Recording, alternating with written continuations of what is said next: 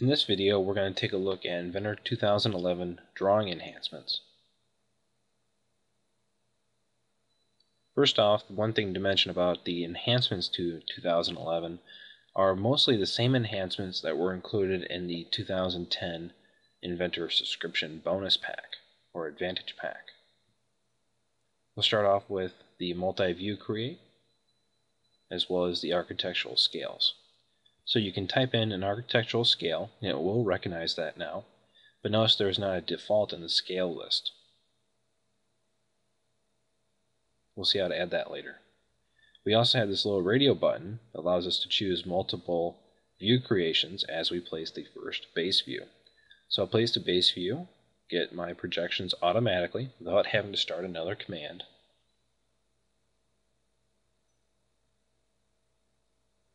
And as you can see, I do have my view label there.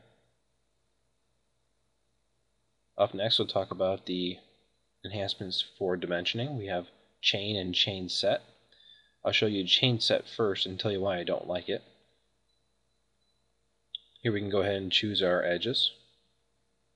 Then continue and create the set. The disadvantage here is when you have values that are too close together, you can't necessarily pull that out with just your default settings. So instead I'll undo that and just do chain dimensioning. Choose my first dimension, create that, then additional, and these are now separable.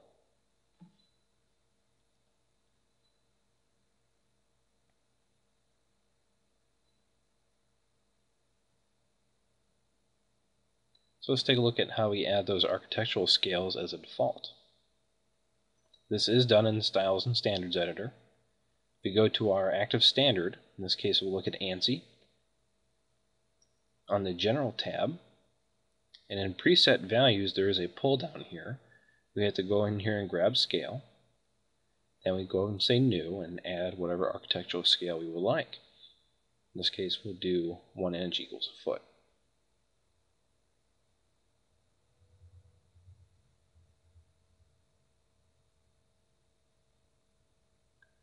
Now if we were to create a new base view, in the scale list you now have 1 inch equals a foot as a default.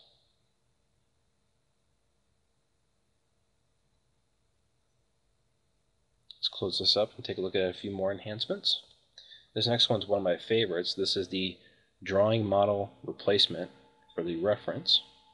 So we've all been here before where we have similar designs. I have 90 degree fitting, 90 degree fitting number 2, you know, perhaps I did a Windows copy on those files, and I need to have 90 degree fitting 2 have some different geometry. As you can see, I've already done that. But the drawing does not reference it. So I'll pick on the view, go to the Manage tab, click on Replace Model Reference. You can see it's still referencing the first 90 degree fitting. Go in and point that towards the new 90 degree fitting. Approve my changes and say OK.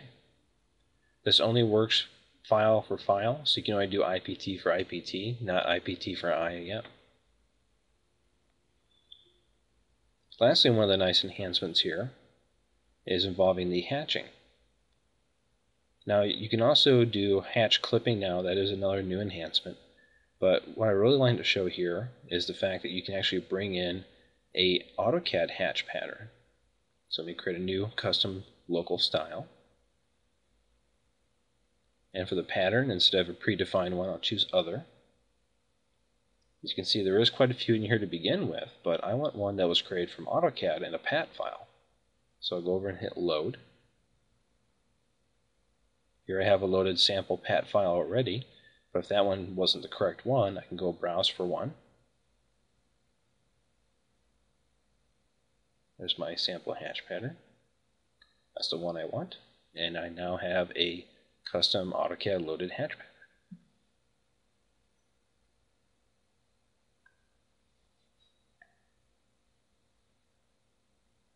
Last enhancement here to talk about is bringing in AutoCAD blocks. Now this is an IDW, so the import AutoCAD block option is grayed out. So let me just save this as an Inventor DWG file. And now I'll be able to perform that command. So this has to be done inside of Inventor drawing files, DWGs. As you go through and look for source files that may contain blocks that you want, it is very similar to how Design Center is set up inside of AutoCAD. One thing to remember about this is the blocks you bring in cannot be made static. They are always going to be dynamically modifiable in size. So if you have something that's a unique size and always has to be that size, it's perhaps better created as a sketch symbol, which can be created as a static item.